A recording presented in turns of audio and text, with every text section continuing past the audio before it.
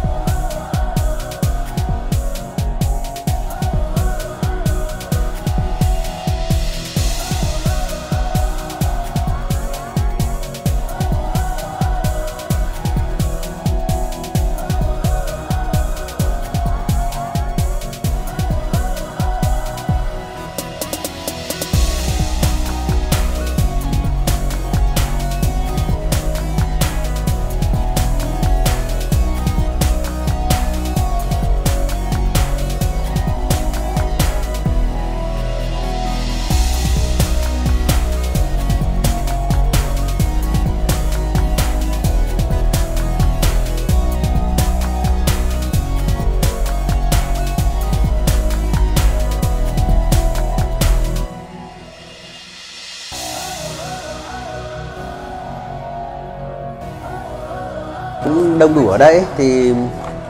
em cũng xin có ý kiến là à, cảm ơn là anh em đã đã đến và đến thăm và sinh hoạt câu lạc bộ và để cái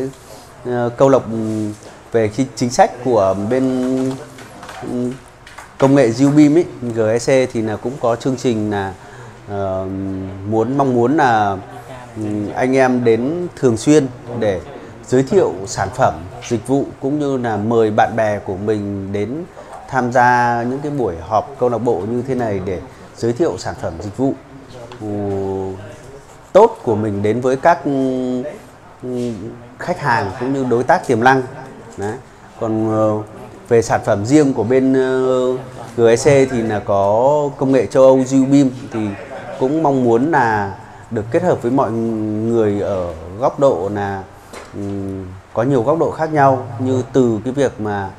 uh, xây nhà chọn gói cho khách cho đến cái việc mà làm chuyên nghiệp trong cái việc của bên GSC là chỉ tổ chức thi công mỗi phần móng cột dầm sàn cho các uh, đối tác là đơn vị xây nhà chọn gói. Đấy, cũng như nếu mà anh em ờ, muốn thuê bên này cả nắp ừ, bên GSC thì cũng nắp cả Ờ, từ xây tường cho đến nắp tấm thì phục vụ cho anh em xây nhà tròn gói thì ừ, anh em cần cái dịch vụ nắp tấm thì bên GC cũng có thể là ờ, cấp tấm hoặc là nắp cho. Đấy thì cũng có các anh em là sản xuất cả tấm bê tông nhẹ đây. Thế thì để cái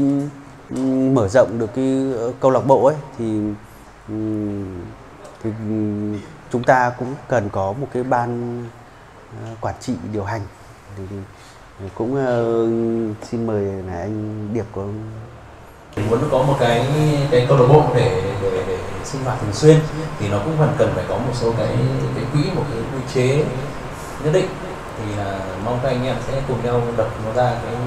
những thứ đó để để cái câu lạc bộ được duy trì nó được lâu dài. Và cũng là để có một cái nền tảng để chúng ta ừ, tập hợp với nhau và chúng ta phát triển. Chứ còn ừ, nếu cái GEC tổ chức theo cái kiểu ừ, như thế này ấy, thì là nó cái được một vài lần thôi là nó sẽ mai một mai một rồi nó sẽ đấy thôi. Nếu anh em tin tưởng về cái cái cái cái, cái, cái này và muốn nó phát triển và cũng muốn đồng hành thì chúng ta xây dựng cái câu lạc bộ. Đấy tôi xin có vay kiến như thế.